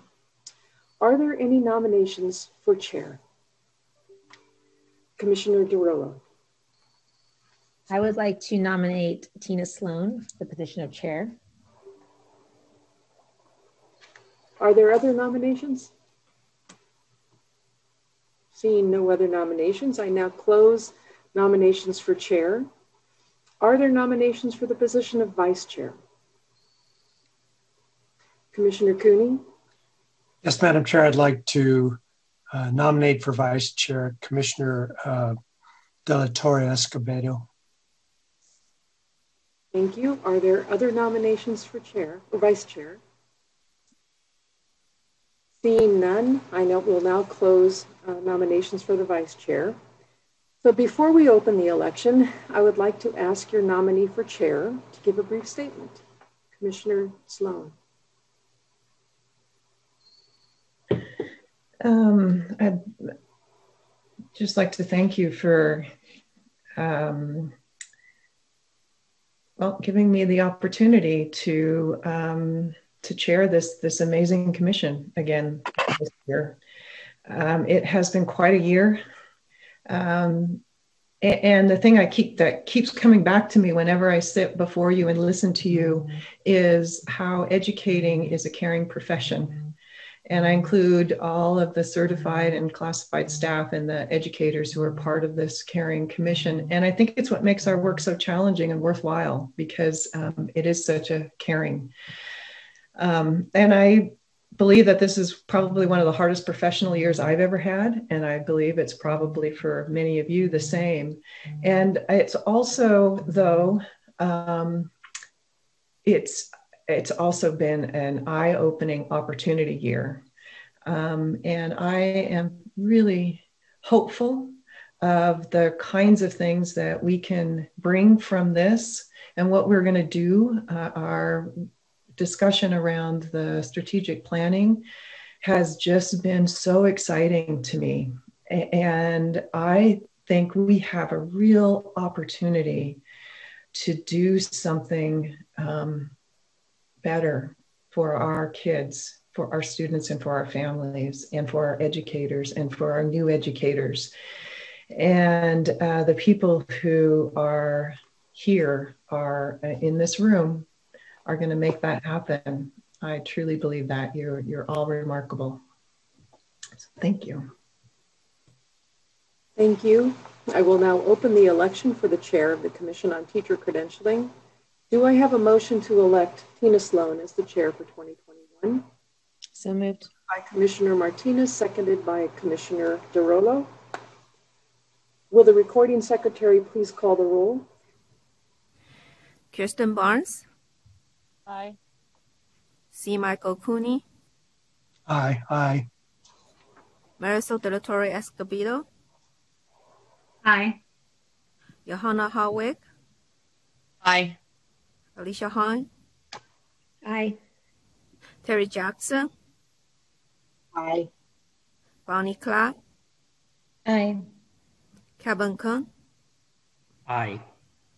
Jim Marks, Aye. Cynthia Martin, Monica Martinez, Aye. David Simmons, Aye. Tine Sloan. You know, it occurred to me, I'm not sure if I should be abstaining. Is that what I should do? Absolutely not. Vote for yourself. Aye. Motion carries. Very good. Thank you very much. Congratulations, Chair Sloan. Thank you so much. Thank you, everyone. I would now like to present Commissioner De La Torre Escobedo as the nominee for Vice Chair. Would you like to make a statement? Yes, Director Sandy, thank you. Um, I have to say, uh, going through the strategic planning session on Wednesday, um, it just made me realize how much I've learned while being on the commission. Uh, Commissioner Barnes, you know, uh, talked to us about all the acronyms that we need to learn and everything else, but it was it was really ref refreshing knowing everything in the glossary as we were going through uh, all the items there. But you know, there's a deep history uh, within our work here, and you know, it's been such a roller coaster of a year, and I am you know truly excited about the future and what's to come. Um, I'd be honored to serve next to um, Madam Chair Sloan to continue our work in carrying out the mission and vision of the CTC. And, you know, with our current realities with COVID and more, um, you know, this just, we've experienced this at our meeting, just in terms of the deep implications on our students and our teachers. And it's going to magnify so many issues, but we're keeping those at the forefront in terms of working alongside our stakeholders and more uh, to make sure that uh, you know we have the kids kids in mind here and our teachers um, in my family um, and you know culturally with my own children um, i've always been taught you know to recognize those that came before you. Um, and I want to recognize, you know, those whose roots are deeply planted um, in our work. Um, so Kirsten, Alicia, and Terry, you are all such Hall of Famers in our educational world. Um, I thank you for everything you've done um, and everything that you will continue to do. Um, and with that, I'm looking forward to 2021 and what's to come. Thank you. I will now open election for the vice chair. Do I have a motion to elect uh, Commissioner De La Torre Escobedo for vice chair. Uh, Commissioner Kung moved, seconded by Commissioner Jackson. Thank you so much. Will the recording secretary please call the roll? Kirsten Barnes, Aye. C. Michael Cooney, Aye. Marisol de la Torre Escobedo, Aye. Johanna Harwick, Aye. Alicia Hine, Aye. Terry Jackson, Aye. Bonnie Clark, Aye. Kevin Kung, Aye. Jen Marks, Aye. Monica Martinez, Aye. David Simmons, Aye. Tine Sloan. Aye. Motion carries. Commissioners, it is my pleasure to introduce Tine Sloan as the chair and Marisol de la Torre Escobedo as the vice chair of the Commission on Teacher Credentialing for 2021. Congratulations and thank you. Thank you. Thank you.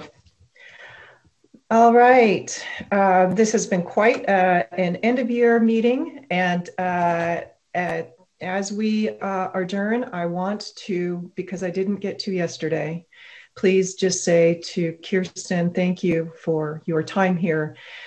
You always keep it real. Uh, for us, uh, your stories of students and families, it's your, your commitment and care for the kids and the people that you work with just comes through in everything you say and do. And the expertise that you uh, bring to bear on these issues is really different from the rest of us. And I have learned so much from you. And you have served this commission, the commitment and the time and the effort in eight years. You've shaped so much that have come before us. And I want you to know that you are a voice in my head and, and you will still be here when you leave this table. And I thank you for that and Alicia, your 10 years of service on this commission, um, you've brought so much expertise and a whole variety of experiences to bear on this work. I mean, you just kept growing as an educator throughout your time here, and we have benefited on all of this. I mean, when I think about what you do. You've educated me with examples directly from your classrooms when uh, you were teaching, and then you went in to become um, you working on the administrator credential, and you informed us on that work and the APA and with virtual school. And as a parent of six children from home, my goodness, that always informed us. You mentored new teachers in the profession, and just as a member of the profession. Um, your intellect and your expertise really shaped our work here. And one of the things that I could always count on with you was uh, to speak your mind, to challenge the issues, to challenge us. And as um, Corey Jones said earlier, to keep it real. Um, you've shaped so much of our work over the past decade, and I've learned so much from you. And you are a voice in my head and will be after you leave this table. And I thank you so much for that. And finally, Terry. Terry, um, I have uh, already said many things to you and about you in public. Um, but the one thing I want to say here is that you're you are one of the the people that whenever I look at you, I just see this deep commitment and in some ways, I think sacrifice to the work. I mean, you work so hard always. And, and you have to have loved it because you couldn't have uh, maintained that all of these years without loving it. And at the same time, I now wish for you um, I think, as some, some of our other commission members or members of the public said, greener pastures. Um, I, I just, just want to thank you for everything that you've done here.